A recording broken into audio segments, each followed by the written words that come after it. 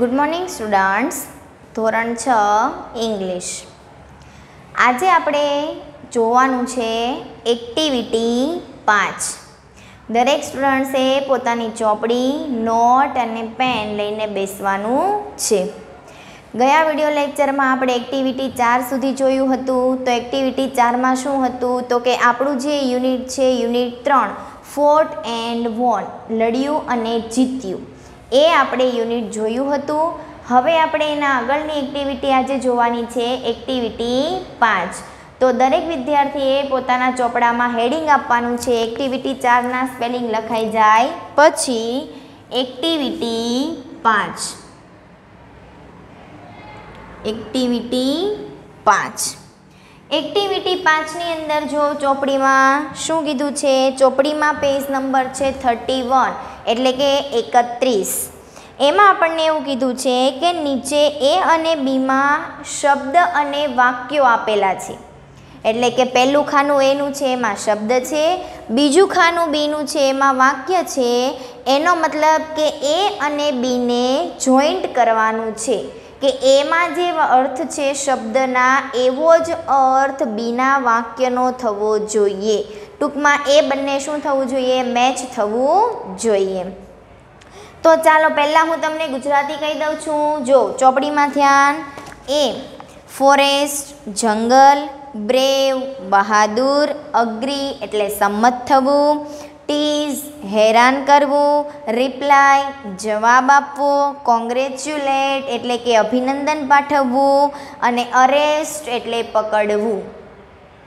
ચાલો બાજુમાં જો અંજની કોલ્ડ લતા લાડુ. અંજલિ લતાને લાડુ કહે છે. ફૂલ ઓફ ટ્રીઝ વૃક્ષોથી ભરેલું. રાકેશ આન્સર્ડ ધ ક્વેશ્ચન રાકેશે ક્વેશ્ચન એટલે કે પ્રશ્નનો જવાબ આપ્યો. Jayesh won hundred metre race. Jayesh સો મીટર દોડમાં જીત્યો. The four the police caught the thief પોલીસે ચોરને પકડ્યો. Jagruti went to the doctor at night. Jagruti doctor પાસે મોડી રાત્રિએ ગઈ. Neha replied yes. નેહાએ જવાબ આપ્યો, હા. હવે એ અને બીના જે શબ્દ અને વાક્યો છે, એને બંધ બેસતું જોડવાનું છે. એટલે કે આપણે કઈ રીતે લખીશું? માની લો કે એમાં આપણને પહેલો શબ્દ આપેલો છે, ફોરેસ્ટ. એટલે કે જંગલ. તો એની સામે એના જ અર્થનું આપણે વાક્ય લખીએ. ચાલો, તો ફોરેસ્ટ આપણને આપેલું છે. એની સામે એના અર્થનું વાક્ય લખીએ આપણે. કયું આવે? જો, બાજુમાં આપણને બધા વાક્ય આપેલા છે એમાંથી. જંગલને મેચ કયું થાય છે? તો કે ફૂલ ઓફ ટ્રી જંગલ એ વૃક્ષોથી ભરેલું છે. ફૂલ ઓફ ટ્રીઝ આવી રીતે આપણે આ બધા શબ્દોની સામે એના સાચા અર્થવાળા વાક્ય લખવાના છે. બરાબર? ચાલો, બીજું લખીએ આપણે બ્રેવ. બ્રેવની સામે કયું આવશે? બહાદુર, તો કે Jagruti went to the doctor at night. Jagruti એ મોડી રાત્રિએ ડૉક્ટર પાસે ગઈ. Jagruti went to the doctor at night ચાલો, એના પછી ત્રીજો સ્પેલિંગ આપણને આપેલો છે અગ્રી તો અગ્રીમાં આપણે કયું લખીશું? નેહા રિપ્લાયડ યસ કેમ? કેમ કે નેહાએ પણ જવાબ આપ્યો હા. એટલે કે એ એની વાતમાં સંમત હોય તો જ એને જવાબ આપ્યો હોય હાનો. એના પછી આપણે આપેલું છે ટીઝ. ટીઝનો મતલબ હેરાન કરવું. તો હેરાન કરે એવું વાક્ય કયું છે? પહેલું, અંજલિ કોલ્ડ લતા લાડુ, કે એ લતાને લાડુ કહીને હેરાન કરે છે. એના પછીનો છે રિપ્લાય. ચાલો જવાબ આપો. એમાં કયું લખીએ? તો આપણને એનું તો આપેલું જ છે કે રાકેશ આન્સર ધ ક્વેશ્ચન ખબર પડી જાય એવું જ છે. રાકેશ આન્સર્ડ ધ ક્વેશ્ચન એના પછી છે રિપ્લાય આવી ગયું. કોંગ્રેચ્યુલેટ અભિનંદન પાઠવવામાં કયું વાક્ય છે? તો કે કોણ છે? જયેશ સો મીટર દોડમાં જીત્યો. Jayesh won hundred metre race. એના પછીનું છે અરેસ્ટ. ચાલો, હવે છેલ્લું વાક્ય કયું બાકી રહે છે? The police caught the thief એટલે કે પોલીસે ચોરને પકડ્યા. The police caught the thief લખાઈ ગયા? આ આપણી એક્ટિવિટી પાંચ હતી કે આપણને એક એની અંદર શબ્દ આપેલા હતા અને બીમાં આપણને જે વાક્ય આપેલા છે એને આપણે સાચા અર્થ સાથે લખ્યા. તો આ એક્ટિવિટીને દરેક વિદ્યાર્થીએ નોટમાં લખી નાખવાની છે.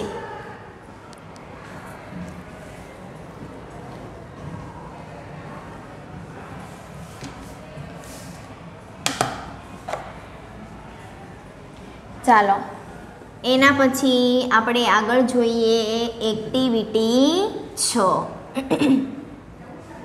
ચોપડીની અંદર પાછળ પેજ ફેરવો.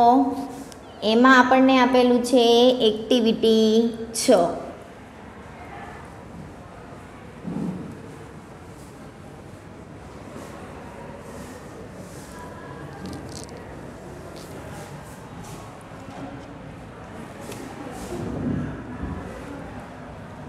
હવે એક્ટિવિટી છ ની અંદર શું કહે છે? જો.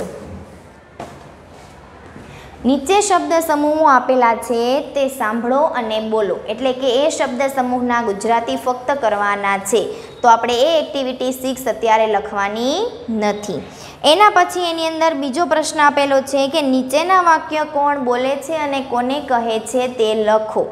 હવે અત્યારે સુધી તમે ગુજરાતીમાં એવું લખીને જ આવ્યા છો, વાક્ય હોય, કોણ બોલે છે અને કોને કહે છે.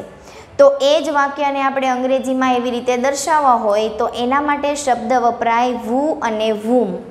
વુ એટલે કોણ બોલે છે અને વુ એટલે કોને કહે છે. વુ એટલે કોણ અને વૂમ એટલે કોને. બરાબર?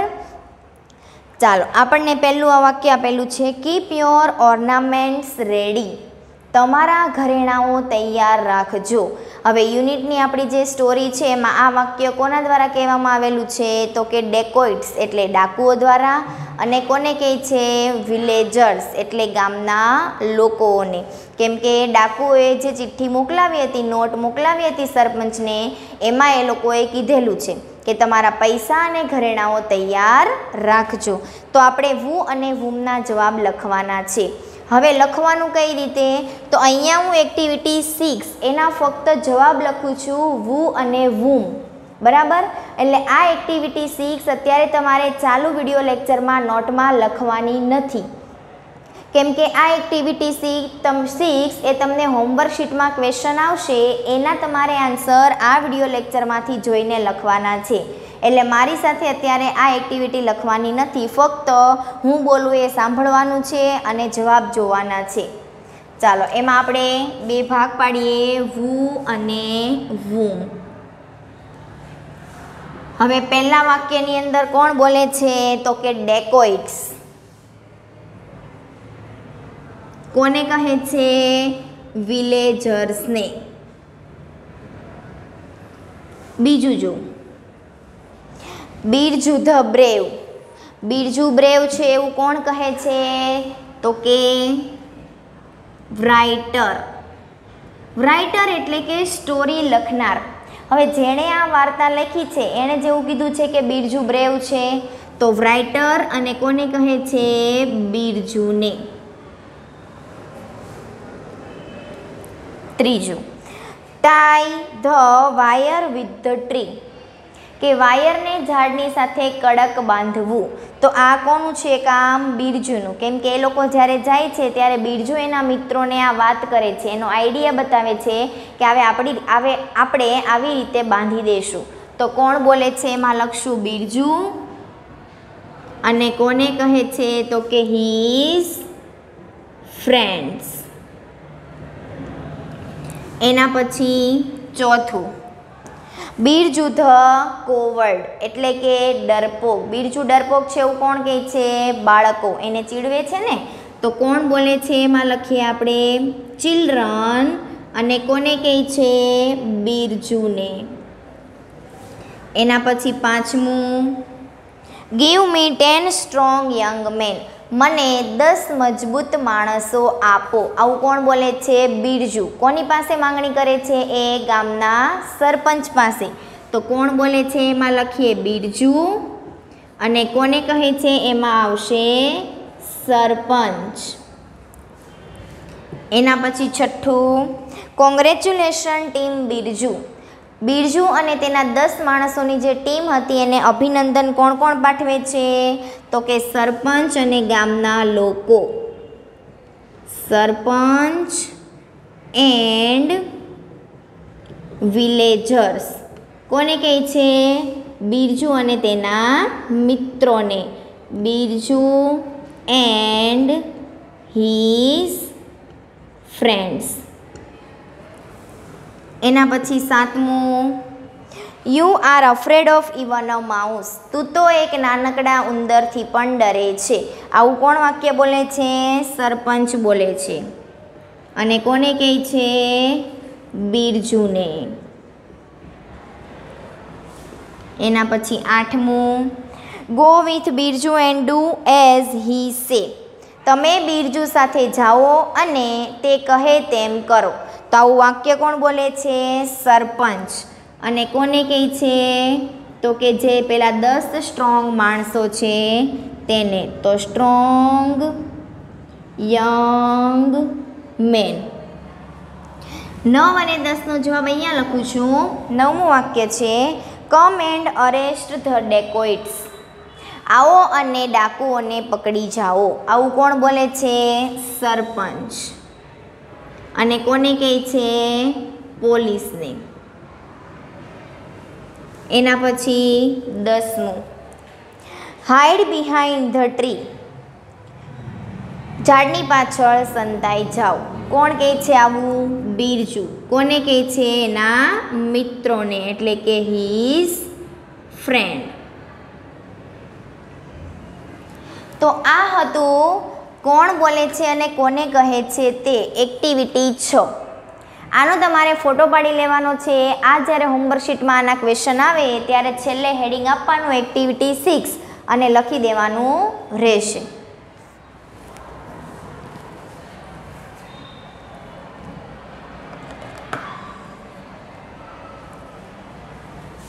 એના પછી હવે આપણે જોઈએ એક્ટિવિટી સેવન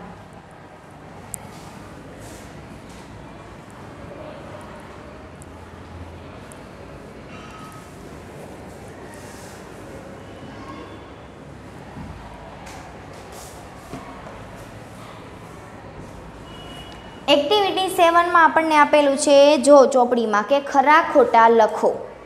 એટલે કે વાક્યની સામે ટ્રુ અને ફોલ્સ લખવાનું છે. બરાબર? તો એ ખરા ખોટા લખીએ.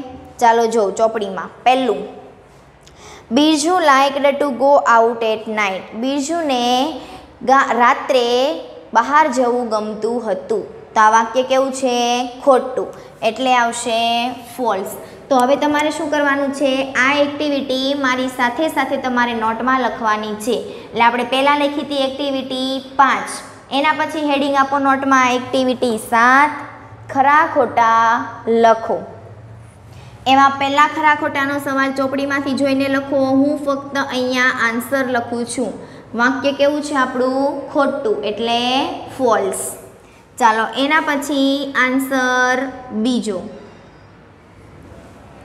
તો ડેકોઇટ્સ લીવ ઇન સુરજપુર ડાકુઓ સુરજપુરમાં રહેતા હતા? નહીં. તો અહીંયા આવશે ફોલ્સ. એના પછી ત્રીજું. Birju asked the sarpanch for ten men Birju એ દસ સ્ટ્રોંગ માણસોને પૂછે છે. એટલે કે સરપંચે બિરજુને દસ સ્ટ્રોંગ માણસો આપ્યા. તો આ ત્રીજું વાક્ય કેવું છે? સાચું. તો આપણે લખીએ, ટ્રુ. એના પછી ચોથું, Birju and his friend caught the dacoits. Birju અને તેના મિત્રોએ ડાકુઓને પકડી લીધા. તો આ પણ વાક્ય કેવું છે? સાચું. માટે ચોથામાં પણ આવશે, ટ્રુ. અને પાંચમું the police congratulated Birju and his friend પોલીસે બિરજુ અને તેના મિત્રોને અભિનંદન પાઠવ્યા. તો આ વાક્ય કેવું છે? ખોટું છે. કેમ કે એને અભિનંદન કોણ કોણ પાઠવે છે? તો કે ગામના સરપંચ અને લોકો. તો આ ચારે ચાર એટલે કે પાંચે પાંચ મેં ખરા ખોટાના જવાબ લખાવ્યા. હવે એના પછી હેડિંગ આપો એક્ટિવિટી એટ આઠમી એક્ટિવિટી જુઓ. આના તમારે સવાલ લખીને જવાબ લખાઈ જાય, પછી હેડિંગ આપો એક લીટી છોડીને એક્ટિવિટી આઠ. એક્ટિવિટી આઠમાં શું છે? તો કે નીચે આપેલા વાક્યોને ઘટનાક્રમમાં ગોઠવીને લખો. ઘટનાક્રમમાં એટલે કે જે પ્રમાણે સ્ટોરીમાં આવે છે, એ પ્રમાણે આપણે વાક્ય ગોઠવીને લખવાના છે. બરાબર? તો આપણે અહીંયા આ સવાલ લખવાના નથી. એટલે કે જે આડાવાળા વાક્ય આપેલા છે, આપણે એ લખવાના નથી. ડાયરેક્ટ આપણે શું કરીએ? ચોપડીમાં જે પ્રમાણે સ્ટોરીમાં આવે છે વાક્ય, એ પ્રમાણે ગોઠવીને લખી દઈએ. તો પહેલું વાક્ય કયું આવશે? તો કે અત્યારે છઠ્ઠા નંબરનું છે એ કયા નંબરનું થશે? પહેલા નંબરનું. The dacoits sent the note to the sarpanch. કે ડેકોઇટ્સ એટલે કે ડાકુઓ પહેલાં તો શું મોકલે છે? સરપંચને એક નોટ મોકલે છે. ચાલો, એમાંથી પછી, એના પછી બીજું વાક્ય કયું આવશે? તો કે સાતમા નંબરનું. The sarpanch said, how will you teach them lesson? આ લોકોને આપણે પાઠ કેવી રીતે ભણાવશું? The sarpanch said how will you teach them a lesson? એના પછી ત્રીજા નંબરનું વાક્ય કયું આવશે? તો કે ત્રીજું જ આપણને આપેલું છે. જો Birju got ten young men બિરજુએ દસ માણસોની માંગણી કરી. તો Birju got ten strong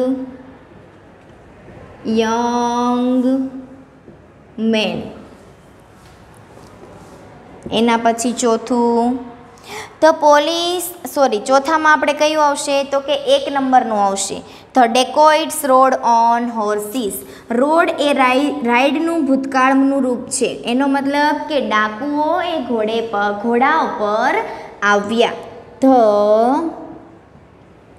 dacoits rode on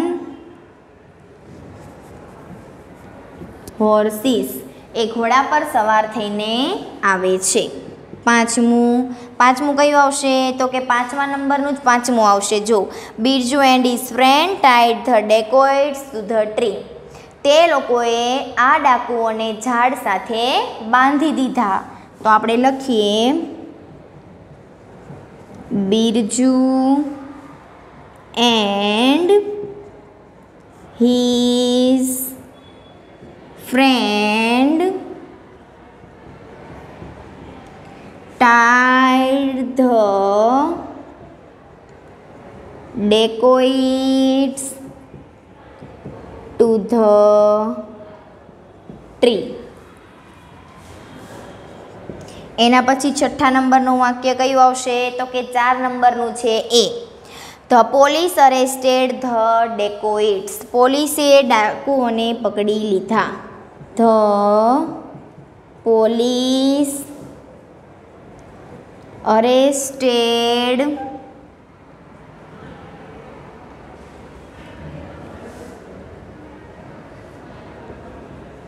the dacoits. એના પછી સાતમા નંબરનું અને છેલ્લું વાક્ય કયું વધે છે? તો કે બીજું the sarpanch said congratulation Birju. The sarpanch said congratulation Birju. બરાબર? આ હતા એક્ટિવિટી આઠ, એટલે કે એક્ટિવિટી સાત અને એક્ટિવિટી આઠના વાક્ય. સાતમામાં શું હતું? તો કે ખરા ખોટા. એટલે સવાલની સામે તમે જવાબ લખી નાખા અને આઠમાની અંદર જેમ મેં અહીંયા ડાયરેક્ટ આપણે સાથે સાત ઘટનાક્રમના વાક્ય લખેલા છે, એ પ્રમાણે તમારે બેઠા તમારી નોટમાં લખી દેવાના રહેશે. તો આ બધા વાક્ય ફરજિયાત તમારી નોટમાં લખો. એક્ટિવિટી સાત અને એક્ટિવિટી આઠ.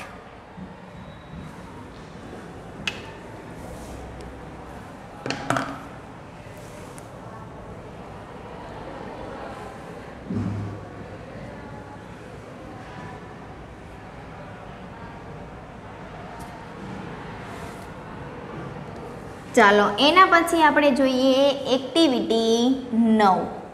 ચોપડીમાં આપણે પાછળ જોઈએ એક્ટિવિટી નવ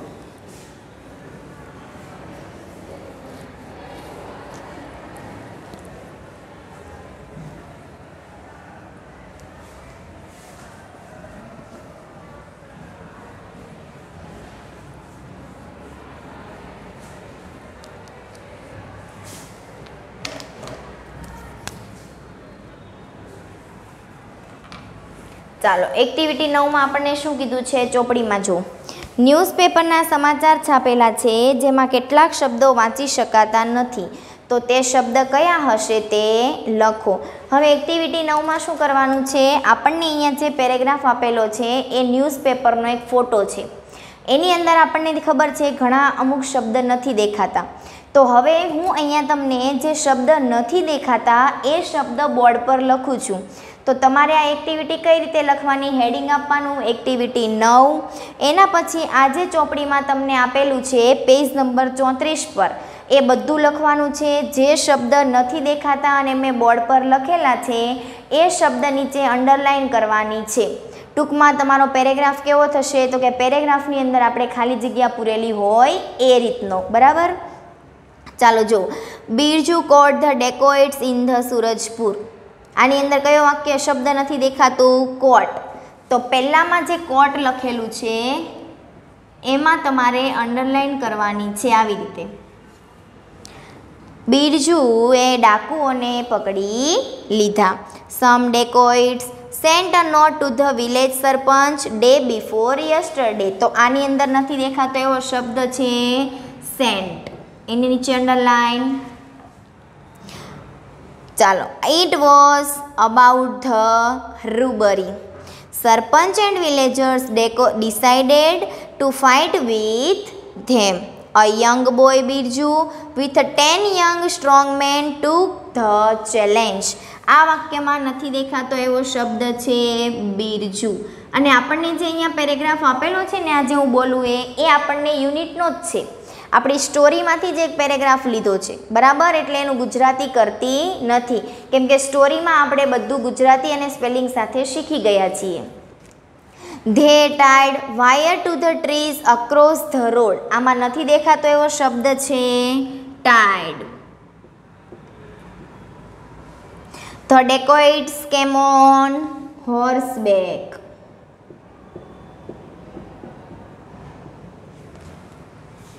They did not see the wire, so they fell on the ground. Birju and the young man caught them. Police.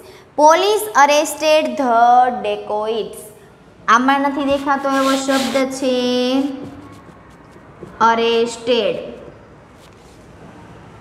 Birju became the hero of the village આમાં નથી દેખાતા એવા બે શબ્દ છે આ વાક્યમાં પહેલું છે બીકેમ અને હીરો બરાબર? એટલે જ્યાં જ્યાં શબ્દ નથી દેખાતા એમ મેં બોર્ડ પર લખેલા છે, તમારે આખો પેરેગ્રાફ લખવાનો છે. ચોપડીમાંથી જોતું જવાનું અને લખતું જવાનું નથી દેખાતો એ શબ્દ બોર્ડ પરથી લખવાનો. આ હતી એક્ટિવિટી નાઇન એમાં પ્રશ્ન એટલે કે આ એ પાર્ટ હતો. હવે આપણે એક્ટિવિટી નાઇનની અંદર બી પાર્ટ જોઈએ છે. તો બીમાં શું કીધું છે? જો, નીચેના શબ્દો ઓળખો અને લખો. હવે આપણને અહીંયા છે ને એક અલગ ફોન્ટની અંદર સ્પેલિંગ આપેલા છે. એમાં અડધા લેટર ઊંધા છે, અડધા ચિત્તા છે, અથવા અમુક લેટર અલગ ફોન્ટના છે. તો આપણે એને વ્યવસ્થિત એક સરખો એનો જે સ્પેલિંગ થાય છે, એ લખવાનો છે. તો હું અહીંયા જે સ્પેલિંગ લખું, એ જ લખવાના છે. આપણે ચોપડીમાંથી જોઈને એવા ફોન્ટના સ્પેલિંગ લખવાના નથી. ચાલો, પહેલું લખેલું છે ટ્રેપ એના પછી લખેલું છે ટ્રેપ પછી લખેલું છે અરાઉન્ડ ચાલો, એના પછી લખેલું છે એટેક પછી લખેલું છે હોર્સબેક પછી લખેલું છે બિહાઇન્ડ એના પછી આ બાજુ લખેલું છે પહેલું ઓર્નામેન્ટ્સ ટુનાઇટ પછી છે ડેકોઇટ્સ એના પછી છે ફોરેસ્ટ અને છેલ્લે છે ક્રોપ. આ હતા બી ના શબ્દો. ચાલો એક્ટિવિટી નાઇન એ અને બીના જવાબ લખાઈ ગયા.